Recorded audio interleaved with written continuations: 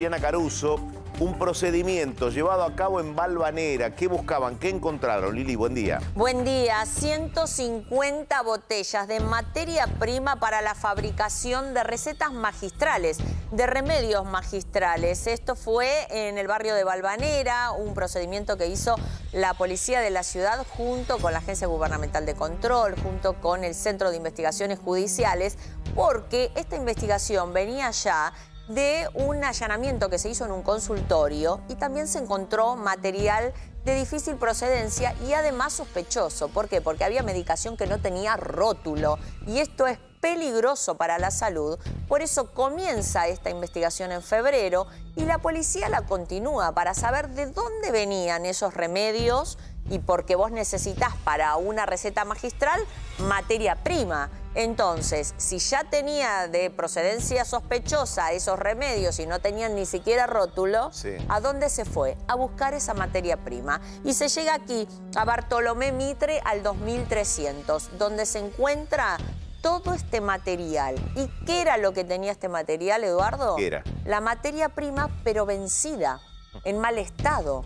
Entonces esto lógicamente es peligroso para la salud y tiene que ver con un código contravencional que es el artículo 204, Código Penal. Lo hablamos mucho aquí por el tema de la propagación de enfermedades, ¿no es cierto?, que puede surgir a partir de esto. Por eso se hizo este procedimiento, se, se, incautaron todas estas botellas, se mandaron a analizar, por supuesto, también al ANMAT para saber qué material hay ahí adentro.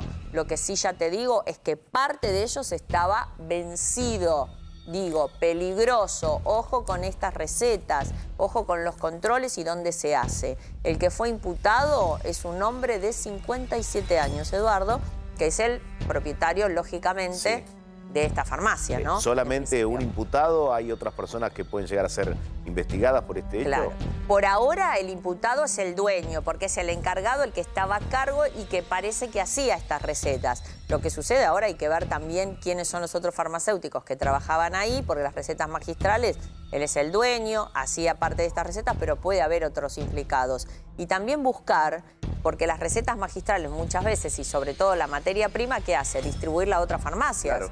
Entonces, ojo con esto, porque lo que se está advirtiendo desde la Policía de la Ciudad y sobre todo el Centro de Investigaciones Judiciales es, si vos comprabas acá, tené cuidado, porque estamos hablando no solo del, remedio ya hecho, preparado, como es la receta magistral que te la dan y te ponen todo el rótulo de lo que lleva, sino acá estamos hablando de la materia prima, O sea, el componente que va a formar parte de un remedio, un medicamento que va a ser elaborado posteriormente. Exactamente, y es materia prima vencida, material vencido. O sea, hay que detenerla, que no circule. Exactamente, por eso cito este procedimiento, por eso se sacaron estas 150 botellas, se va a analizar ahora qué tienen y además de las botellas si hay algún otro ingrediente, alguna otra sustancia que pueda también estar vencida.